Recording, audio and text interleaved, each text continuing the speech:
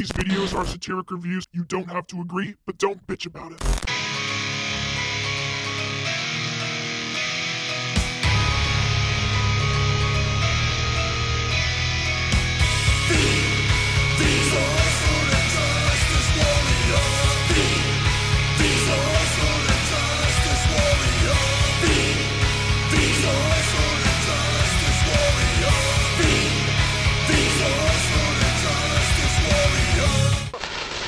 Hate this channel. Hey there, I'm Social Injustice Warrior Vee Infuso, and let me be the first to say, yeah, the title of this video is a little misleading. Just, just a little bit. Just uh, hear me out. Hold on for a second. So yes, Shawn Michaels never actually competed in WCW. Well, let me tell you something, brother. You're watching the Social Injustice Warrior, Vee Infuso. Stop! Just stop, okay? Shawn Michaels never actually competed in WCW. But did you know that there was a point in time where he really, really wanted to? Back in the mid to late 90s, the WWF locker room and the wrestling world as a whole was being dominated by a group of future Hall of Famers, a group known as the Clique. It was a team which consisted of names such as Shawn Michaels, Diesel, Razor Ramon, Triple H, and the 123 Kid. All prominent names in the industry at the time.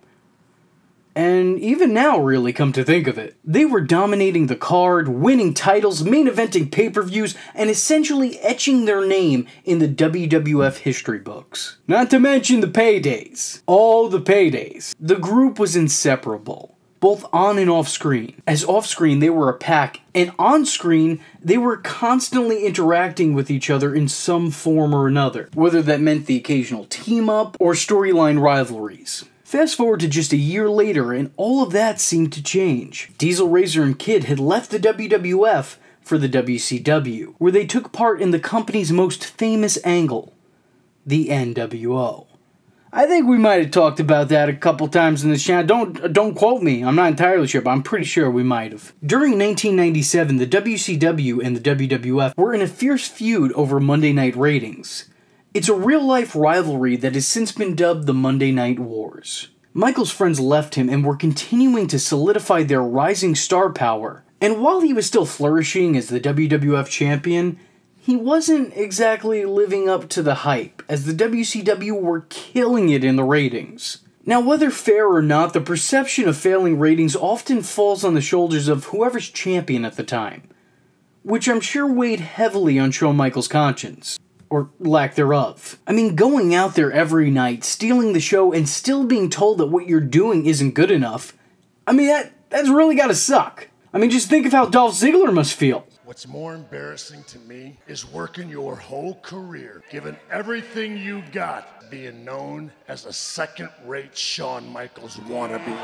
Oh, the company combat was felt by everyone at the time, those watching the shows, the guys working those shows, and those especially in the office backstage. Vince McMahon, typically the self assured egomaniac's confidence took a big hit with the loss of two of his top stars in Diesel and Razor. The worst part of it all was that the growing company didn't stop there.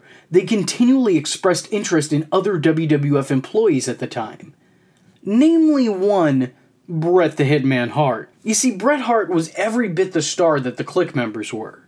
He was a decorated champion with an outstanding resume, phenomenal in ring skills, and a connection to the wrestling audience that many others didn't have. In an act of sheer desperation, Vince attempted to put a stop to Bret's talks with the rival promotion by signing him to an unprecedented, yes, I know, I pronounced that weird, I'm from New York, what do you want from me? An unprecedented 20 year contract. And why I'm mentioning this is because most wrestling fans are aware that Bret Hart and Shawn Michaels had a long history of well documented issues with each other. That maybe definitely we'll cover someday on this channel. And the reason I bring this up is that those issues play a primary part in the story. You see, Shawn and Bret were heated rivals both in front of the cameras and behind them as well. They were two of the main event stars in the company at the time and were constantly fighting for that number one spot. They were both top guys, but each wanted to be the guy. So with the real life tension only growing behind the scenes, and Shawn hearing that Bret wouldn't be going anywhere for at least two decades, he wanted out of his WWF contract.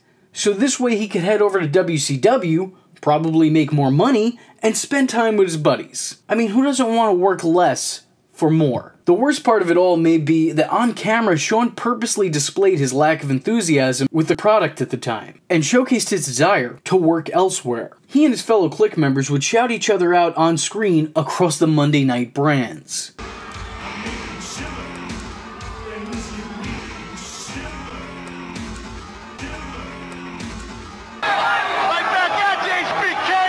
Shawn approached the boss and asked to be released from his contract, which he had about four to five years left on, and his request, unsurprisingly to us, but quite surprisingly to him, was denied.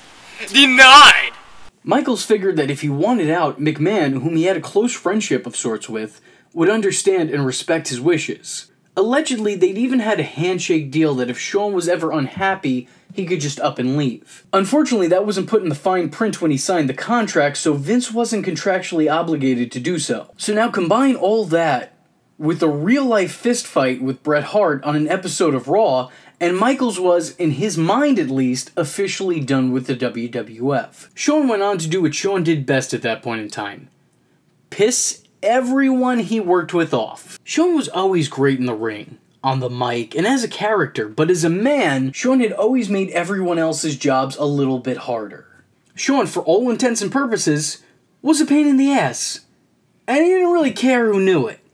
He wasn't really wasn't really the shy type. When he didn't get his way, he made sure no one else did either. Michaels would go on to no-show several appearances at events that he was scheduled to work, and even went so far as to disconnect his phone so that his employer couldn't get in contact with him. I like that Shawn's way of handling his relationship with Vince was to treat him like a crazy ex girlfriend. I mean, really, the next step for Shawn was to get a restraining order from his boss. And then to really, really drive the point home that he was taking his ball and leaving, Shawn Michaels did a photo shoot for Pro Wrestling Illustrated, wearing what else but an outsider's t-shirt. And sure, you could rack this up to Shawn trying to show support of his friends Hall and Nash, but this wasn't the time or place. And I think, I mean, don't quote me here, but I'm pretty sure that Shawn Michaels was the active WWF champion at the time. So it's especially a bad look on the company. I mean, just imagine AJ Styles not attending house shows and showing up for a photo op wearing a Kenny Omega shirt. This was surprising to say the least. Shawn's goal was to try and goad Vince into firing him, and while he didn't get what he wanted, he did at least get Vince's attention, causing the WWF to have legal papers sent to his house. Remember, phone disconnected, can't call him. Have legal papers sent to his house because he was clearly in breach of his contract. So Shawn, not wanting to pay out his ass the rest of his life, gritted his teeth and returned to the company. Speaking on the situation years later with Jim Ross on the Ross Report, Shawn stated the following. Did you ever consider going to WCW? Uh, yeah, I mean, I thought about it, and you know, at that time I'm under contract by the WWE, so you you couldn't you couldn't go. But there was a time I, I did want to go. I mean, I did. I went to Vince and I said, just let me go. You know, I'm miserable here. I can't stand it here anymore. I want to go down and be with my buddies. Let me go. And he just said no. I, I couldn't have gone. I was under contract. And he said, look, you're a creative guy. You want to do, you know, your things your way. You, you know, when you get chance to have your matches or be creative, whatever. That's what you thrive on, and they won't let you do that down there, and that's going to kill you. You'll never be able to make it in that kind of environment. He said, so even if I, you know, even if I was gonna let you, you know, I, you know, you wouldn't like it down there. I'm telling you. You know what? Maybe he's got a point. I think he might have had some validity there. I don't. Shawn, I gotta disagree with you there, buddy. WCW is infamously synonymous with the phrase letting the inmates run the asylum. That, that's been hammered into everybody's heads. It's been spoken many a times that the WCW wrestlers, uh, especially their top stars, a lot of them not only got huge payouts, not, not, not only were, were paid a massive sum, but were also given a sense of creative control over their characters in their contracts. I think you undoubtedly, especially being the star that you were at the time, would have been given a hell of a lot more creative control and contractual freedom. But hey, I mean, it, it, worked out for you in the long run. I'm just saying. Look, all I'm saying is that there's no validity in you saying that there's validity in what Vince said. I hope that's not too hard to understand. He also brought the subject back up on the Ric Flair show with who else but Ric Flair, where this time he said, You were kind of the guy who never went to WCW despite all your buddies going. Did any serious talks ever happen about you going to WCW? I think I've always felt like, you know, uh, I, I was a, a WWE guy. It's one of those things where I guess you talk about your fantasize, but really legally and contractually, no. Something has, you know, had to be bigger and more important than the money. Um, and for me, it was that time inside that ring, the place that I felt like, you know, had the most freedom. And I honestly didn't want to be anywhere else. And the only reason you'd ever go anywhere else is for money. I'm gonna cut it off right there, real quick, cause Shawn, you could have fooled me. Now it just seems like you're trying to fool yourself. And Shawn, uh, if I could paraphrase here, uh, as a, a wise degenerate once said, I've got two words for you Stockholm Syndrome. Stockholm Syndrome. Regardless, that was Shawn's time, or lack thereof, in WCW. Don't forget to bitch me out in the comments section because Shawn Michaels was never in WCW and you clearly don't know what you're talking about. I look forward to reading them. I, I, I look forward to it. Well, let me tell you something, brother. You're watching the Social Injustice Warrior Vee Infuso's channel, dude. So if you like the words that came out of his mouth hole and you too want to become a V-tard, don't forget to like and subscribe and click that little bell icon to get updates and notifications. Ooh, tell him what up, Mach. Ooh, yeah.